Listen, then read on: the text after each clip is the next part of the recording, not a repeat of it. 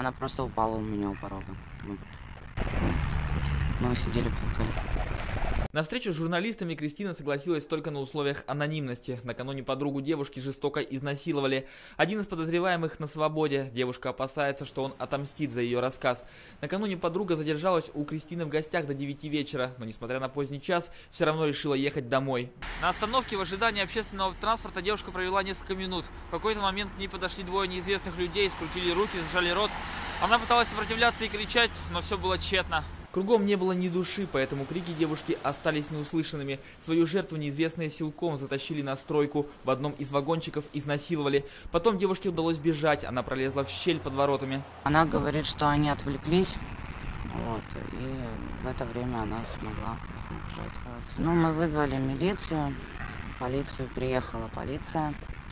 Вот, и поехали они сразу на стройку. Сотрудникам полиции удалось задержать одного из подозреваемых, потерпевшая опознала его. В Следственном комитете сообщили, что до проведения экспертизы давать комментарии преждевременно. Со слов Кристины, оба подозреваемых являются выходцами из ближнего зарубежья. В Россию они приехали на заработки и работали на той самой стройке, где было совершено изнасилование. Георгий Колчин, Владимир Чернов. День в событиях.